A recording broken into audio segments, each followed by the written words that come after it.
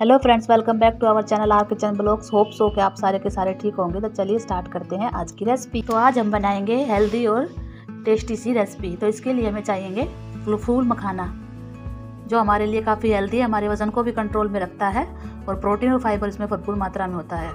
तो चलिए स्टार्ट करते हैं। मैंने एक कटोरी फूल मखाना लिया है। इसको हमने फ्राई पैन पर ड्राई रोस्ट कर लेना है। गैस को मीडियम टू स्लो रखेंगे और इसे ऐसे चलाते हुए ड्राई रोस्ट कर लेंगे। इसमें जो नमी हो वो दूर हो जाएगी। तो ये दो से तीन मिनट में हमारे मखाने अच्छे से ड्राई रोस्ट हो जाएँगे।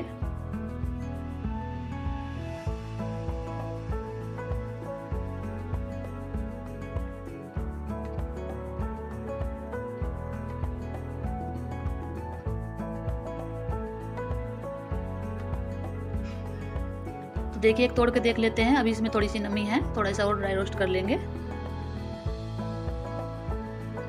एक तो एक से दो मिनट के लिए।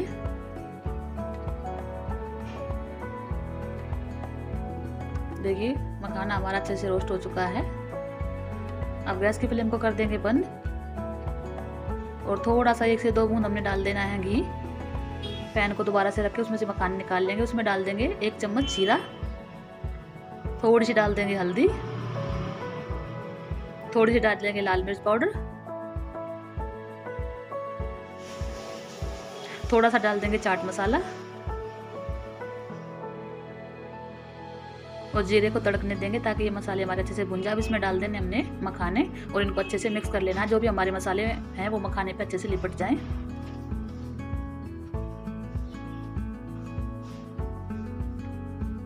तो देखिए, इस तरह से हमने इसको मिला लेना है।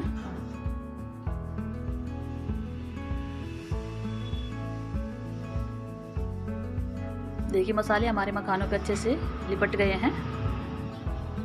अब गैस की फ्लेम को हमने बंद कर देना है। अब इसमें डाल देंगे थोड़ा सा नमक थोड़ा सा अमचूर पाउडर, और इसको मिक्स कर लेंगे। अब इसमें एक टमाटर डाल देना, बारीक कटा हुआ, एक प्याज डाल देनी है। अगर इसमें आप और कोई वेजिटेबल डालना चाहते हो तो वो भी डाल सकते हैं, जैसे कैप्सिकम वगैरह। तो देखिए, हमारा मखाना चाट बनकर हो चुका है तैयार। इसको नींबू के साथ सर्व करें और अगर आपको हमारी वीडियो अच्छी लगे प्लीज़ वीडियो को लाइक शेयर कमेंट कर दीजिए चैनल पर नए चैनल को सब्सक्राइब कर दीजिए और ये रेसिपी घर पर ज़रूर ट्राई ट्राई करें। ये काफ़ी हेल्दी होती है हमारी सेहत के लिए। आप सुबह नाश्ते में ले सकते हैं या बच्चों को टिफ़िन में भी दे सकते हैं। ये रेसिपी घर पर ट्राई करें और कमेंट करके हमें बताएँ आपको कैसी लगी। आपके लिए बाय मिलते हैं नेक्स्ट वीडियो में।